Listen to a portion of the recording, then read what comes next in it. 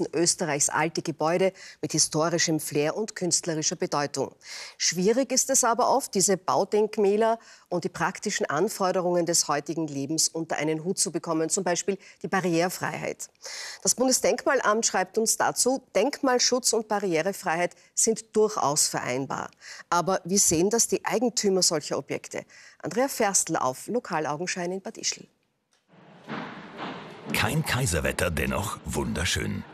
Das Flair von Bad Ischl wirkt selbst im grauen Winter herzerwärmend.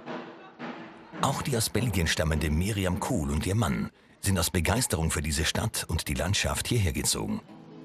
Doch mit dem Wandern war es leider schnell vorbei. Seit Komplikationen bei einer Operation ist Miriam Kuhl im Rollstuhl unterwegs. Reden will sie darüber eigentlich nicht. Meine Krankheiten sind wir morgen noch nicht fertig. Sticken, Stricken und Häkeln sind für die Schneidermeisterin seither beliebte Freizeitbeschäftigungen. Sie würde auch gerne ins Kino gehen, aber das kann sie nicht. Ich habe auch das Ding, dass ich äh, durchlaufe. Und ich muss da öfters zum Klo. Na, ich komme dort nicht zum Klo. Das Klo ist im ersten Stock und da ist kein Lift. Das Kino ist im alten Leha-Theater eingerichtet. Das Geschäft gehe nicht so gut, habe man Frau Kuhl erklärt und das denkmalgeschützte Gebäude sei in schlechtem Zustand. Daher wäre ein Lifteinbau nicht rentabel.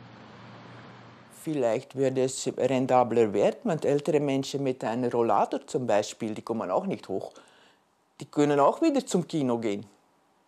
wir haben ein wunderschönes Altersheim. Die können auch wieder zum Kino gehen, mal einen Kinoabend machen.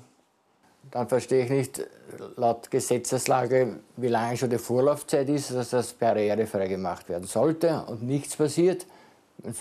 Man hört ja nicht, dass irgendwie muss eine Strafe sein, aber äh, es wird nichts gemacht. Das Ehepaar hat natürlich selbst Erfahrung mit Umbauten zur Barrierefreiheit, den Schwierigkeiten damit und den Kosten dafür. Es hat auch gewisses Verständnis für die Eigentümer, die das Theater vor 15 Jahren aus reinem Enthusiasmus gekauft haben. Wir wollten nicht, dass dieses Haus zu einem Supermarkt oder irgendwas verkommt. Äh, das ist ja immerhin das Theater vom Kaiser Franz Josef, an die 180 Jahre alt. Wir sind auch kulturinteressiert, wir sind kinoaffin, wir wollen der Bevölkerung und uns auch äh, das Angebot eines, eines lokalen Theaters nach wie vor gönnen und kämpfen einfach die ganzen Jahre schon darum, äh, das erhalten zu können. Jeder Gast sei hier willkommen, versichert man uns. Johann Putz und sein Sohn Markus können das bestätigen. Mindestens einmal im Monat kommen sie zu Filmvorführungen oder Veranstaltungen hierher. Was für Markus wichtig ist, er kann mit dem Rollstuhl genau dort stehen bleiben, wo er trotz seiner Augenprobleme optimal sieht. Das sei in modernen Kinos nicht so. Das ist eigentlich noch nie ein Problem gewesen, da man da in den Kinosaal hereinkommt. Also da entweder eine andere Gäste oder der Betreiber selber hier im Haus ist sehr hilfsbereit und ist eigentlich nie ein Problem gewesen. Das WC im ersten Stock braucht Markus in der Zeit zum Glück nicht. Diese Stufen sind mit dem Rollstuhl nämlich nicht zu bewältigen.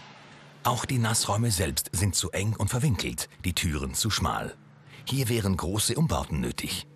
Für diese gäbe es auch schon ein Konzept, aber die Finanzierung sei nicht möglich, argumentieren die Eigentümer. Und was sagt die Stadt dazu? In Bad Ischl werde Barrierefreiheit sehr ernst genommen, meint die Stadträtin. Wir sind ja nicht nur Tourismusstadt, sondern auch Kurstadt. Wir haben in Bad Ischl eine MS-Station.